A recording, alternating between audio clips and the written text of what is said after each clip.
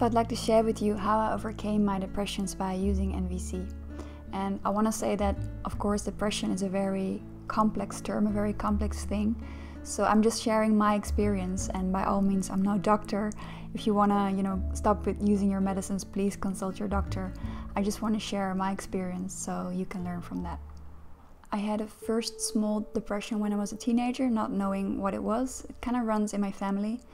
Uh, not that I want to blame anyone for it. I had a depression when I was studying that was quite severe and was really, really scary. I got to a really low point of having like intense suicidal thoughts. Um, I had like kind of a cr- more chronic, long, mild depression after that when I was working as a journalist in Amsterdam, and I had a lot of things on my on my plate. Um, my parents got divorced. My boyfriend broke up with me and I moved to Amsterdam not knowing anyone here, not having any colleagues because I was a freelancer, having huge financial struggles.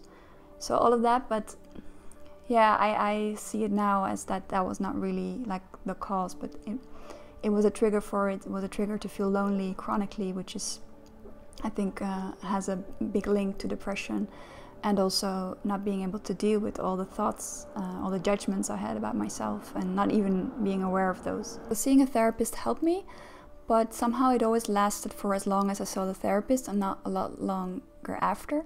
So the first thing I did to cure myself was actually to start doing mindfulness. I got this book called um, A Mindful Way Through Depression by Jon Kabat-Zinn. If you haven't heard about that, I can really recommend it. Um, what mindfulness did for me is that you know, I have kind of this metaphor of that in that time I had just a bunch of repeating um, horrible thoughts. And I picture them as kind of like if I'm lying in bed, it's like this group of uh, kids, and like each kid represents a thought, and they're like whining and crying and angry, uh, angrily, like shouting at me. And what mindfulness did was instead of thinking that I am those kids and I was following those thoughts, um, I got this distinction of there's me in that bed and there's those thoughts. So that was the first thing. And then it also showed me that I could look at those thoughts. So for the first time, I kind of turned my head and, and looked at, at these, um, the situation as just being a bunch of thoughts and instead of you know the thoughts were a lot about um, the future and about the past so it was making the thoughts were making me feel anxious and guilty. And so instead of you know usually i would kind of look into the direction of where those kids were pointing pointing at. So look at the past look at the future look at what you did look at what might happen. And so instead of looking at what they were kind of pointing me at i was just looking at them and that um, I hope that's kind of clear. But for me, it's uh, what it meant was that I was having this soft redirection time and time again at the now. Like I was just having these thoughts now. All of those things that the thoughts were saying, um, that was not happening. Because right now is just right now. It's not the future, it's not the past. So that was really helpful. It meant that I just had this you know, in my what I took away from it is kind of like the now is digestible. The now is always digestible. Your your body just takes what it can process in the now, so that's always doable, no matter how how painful the feeling might be. That it, that is there in that moment. So that was helpful. Even with mindfulness, I fell back into depression. And looking back, I think it's because, you know, you can be in the now and look at your thoughts, but I didn't have a tool to to see how to take action. Like where did I want to go actually? That was not clear for me. And also how to connect with people, how to get out of this loneliness. So NVC helped me to see three things that I want to share with you now. So the first thing, um, so I was having these these thoughts that were quite harsh, and just looking at them was really painful. But NVC learned me that behind each of those thoughts is a need. So, for example, if I would be beating myself up because I told said no to someone about something, then I would be looking at the need behind my no. So, for example, maybe I wanted to protect my energy. And I would also look at the need, you know, why does this thought come up? What's the need behind that? And then I would realize more and more that I so wanted to belong. I really wanted to connect with people. And so I was tending to, you know, take the extra step and maybe go over my boundaries. And so knowing these needs of, you know, belonging and, and taking care of myself and my energy were really lifting me up and really inspiring me to, to look for strategies to meet all of those needs. And the second thing is, I think, the biggest thing. I think NVC really showed me how you can have more honest connections, which was something I was so thirsty for. And but I was scared to have it. And NVC taught me how I can create safety, how I can ask for, you know, listening space that is safe for me. Like for example, to ask for someone to not give advice or to check with me if I want to hear advice. You know, all of those things that NVC teaches you um, in order to create this safe space to be heard. That was so helpful for me to actually speak. And also, NVC taught me, you know, while doing that more and more, how human beings are so longing to see both, you know, pleasant and unpleasant feelings of other people just because it makes them feel human. So that actually I was uh, bringing a gift by sharing my shit, let's say. I was making connections by doing that, and people were really like, Oh, I really enjoyed your vulnerable sharing. And I was like, Really? Oh my God, that's great. And so I got more amazing connections. Um, I have a really great love relationship right now, and uh, this guy also started to do NVC.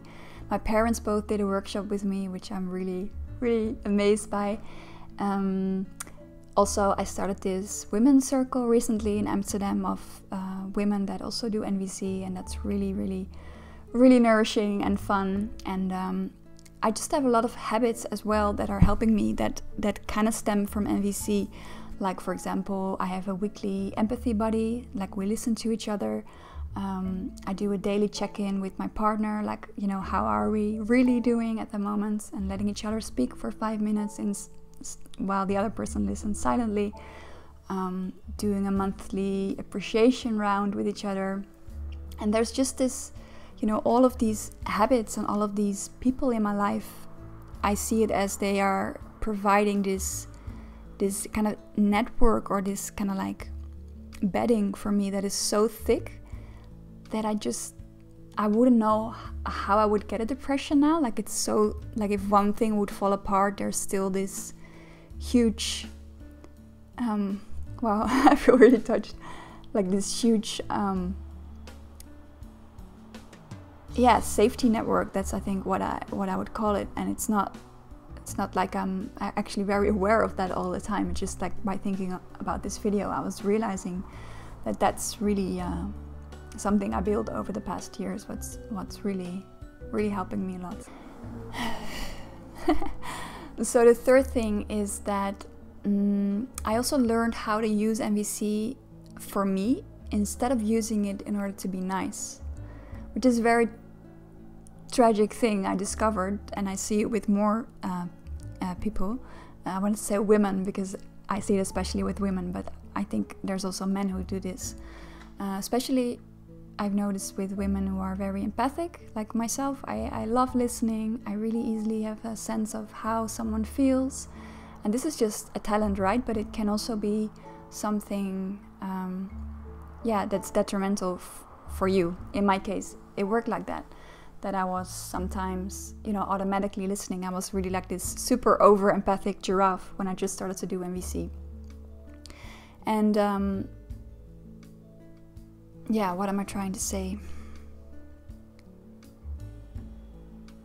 Yeah, that actually what I discovered is that NVC is about connection, and the way I read it was it's better to connect with other people than to not want to connect, to want to connect with yourself. Or if it's a specific person, um, it's not good if you want to connect with your current friends and not with this one person it's more NVC, it's more noble, it's like ugh. It's really it's really something that got into my head and that I'm um, that really took some time to overcome. To see that, you know, ultimately, deep down, no one would want me to listen or to connect if I'm not fully up for it, if I'm not fully there. And so, of course, it's painful when I don't want to connect with someone. And still, ultimately, I, I strongly believe no one would want it. And that was something I realized quite soon, but something else has helped me, another thought, which is more a thought coming from abundance, a sense of abundance, which is about really, really believing that there's enough people for everyone. Just, I really started to have this really strong belief that there's, you know, I don't have to carry the weight of the world. like, there's yeah, there's just enough people for everyone. I just, when I say it, I just, it's just the truth for me. And I just want to, I would love it if more people would trust in that.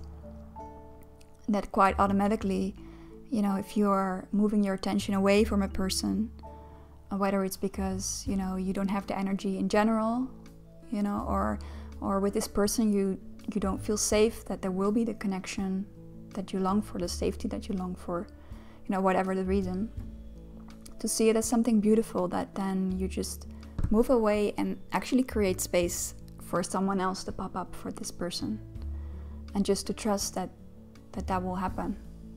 Just to kind of like, yeah, I, I guess my sec- the second stage, let's say, of this thing, I started to add more love to it. It was it was less of like, I don't have to connect with you, you know. I'm just like like kind of forcing myself away from the from the person and now it doesn't feel like really I'm going away just like I decide who I spend my time with and the people I don't spend my time with I'm still sending them love or something it sounds really really really cheesy but yeah I think I've become more cheesy that's I think I have to accept that so yeah that's I think the last thing and maybe it's actually the most crucial thing because it's really about self care.